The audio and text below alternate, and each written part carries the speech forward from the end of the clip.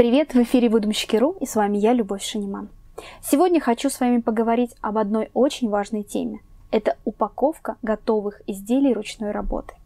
Часто, когда мы готовим подарки для родных и близких, мы забываем об одной важной вещи – как эти подарки мы будем упаковывать.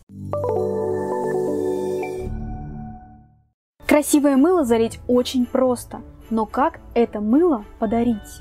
Давайте поговорим о коробках, которые помогают нам презентовать подарки ручной работы наиболее выигрышно. Один из частых вопросов, который нам задают, это как правильно собрать эти коробочки.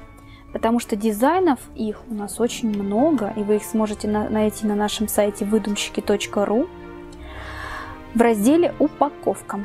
Смотрите, в общем-то, сборка совершенно незамысловата. И, как правило, она подразумевает, что все части, на которых есть какая-либо информация, будут скрыты с лицевой части коробки. Итак, все, что нам нужно, сначала проработать сгибы. Я рекомендую прорабатывать сгибы перед тем, как собирать коробку. Теперь коробка стала более податливой, и мы складываем ее. Сначала убираем большой клапан, потом накрываем боковыми клапанами и в завершении продеваем петельку. Дно собрано. Дальше прорабатываем сгибы боковых частей. Сгибаем клапан и закрываем коробку. Сборка завершена. Коробка готова. Сейчас я вам чуть подробнее расскажу о коробке, которую я держу в руках. Во-первых, коробка выполнена из очень плотного картона. Фактически все пазы вложены друг в друга намертво. У вас не развалится эта коробка, даже если вы положите туда 400 или 500 грамм мыльной основы она открывается с защелкиванием. Изнутри она ламинированная, то есть она глянцевая, лакированная и водонепроницаемая. Ламинация коробки очень важна для мылоручной работы, потому что такая коробка прочнее, меньше пачкается, и даже если какой-то гель для душа у вас прольется в нее, просто протрите тряпочкой и все удалится. Кроме того, в такой коробке очень прочное пластиковое окно. Оно приклеена очень хорошо и не дает влаге испаряться из изделий ручной работы. Это очень удобно. Коробки бывают горизонтальные и вертикальные. Вертикальные коробки есть с окошком, есть без окошка. Давайте попробуем их собрать. Они собираются примерно одинаково. Первое, что я рекомендую, это опять же промять все сгибы. И опять складываем клапана. Сначала большой клапан, затем боковые клапаны и нижний клапан тоже сложили. У вертикальной коробочки есть места сгибов. Они располагаются вот здесь. Они нужны для того, чтобы коробочка очень плотно собиралась и никакая влага не выходила из нее. Дальше отгибаем язычок, который у нас есть на крышке. Кладем коробку. И этот язычок вставляем в дырочку специальную. Коробка собрана. Очень плотная. И даже без наполнения эту коробку очень сложно помять. Окно тоже пластиковое, прочное, нигде не морщенное. Очень качественная коробочка. Вот мы собрали с вами коробочки. Теперь давайте в них упакуем мыло ручной работы.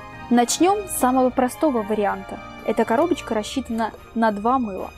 Итак, открываем нашу волшебную коробочку. Открываем белый наполнитель. Отделяем нужное количество наполнителя и укладываем в коробочку. Аккуратно заправляем все торчащие края наполнителя в коробку. И теперь делаем небольшие углубления в наполнителе, проминая его пальчиками и раздвигая в стороны. Два, отверстие и вкладываем цветочки в нашу коробку. В одно отверстие и во второе отверстие. Теперь закрываем коробочку. Вот что у нас получилось. Красота? Итак, сейчас покажу вам еще один вариант упаковки мыла ручной работы, но уже если вам нужно упаковать одно мыло. Складываем коробочку, как я показывала ранее. Сначала большой клапан, боковые, все вниз загибаем и нижний клапан. Проминаем боковушечки и опять берем наполнитель. Укладываем в коробочку. Точнее, пока мы его только примеряем в эту коробочку, потому что нам нужно сделать хорошее такое отверстие, где мы расположим мыло ручной работы. Сейчас мы примерили, обкладываем нашу розу наполнителем и теперь укладываем и распределяем опять же наполнитель так, как вам будет удобно. Сверху, если есть необходимость, можно положить еще наполнителя, чтобы при транспортировке роза не упала из окошка. Один важный совет. Если вы хотите в коробку упаковать мыло ручной работы без пленки, так оно, конечно, будет гораздо эстетичнее, После заливки дайте ему подсохнуть на открытом воздухе день или два. Тогда оно не испачкает ваше окошечко. И закрываем язычок. Вы получили красивую коробку. И здесь всего лишь одно мыло. Но подарок уже готов. Правда здорово? А как правильно упаковать мыло ручной работы в термоусадочную пленку, я рассказывала вот в этом ролике, ссылочка ниже. Обязательно поставьте нам лайк и подпишитесь на наш канал, нам будет очень приятно. В комментариях обязательно напишите, во что вы любите упаковывать свои изделия ручной работы и есть ли у вас проблемы с упаковкой.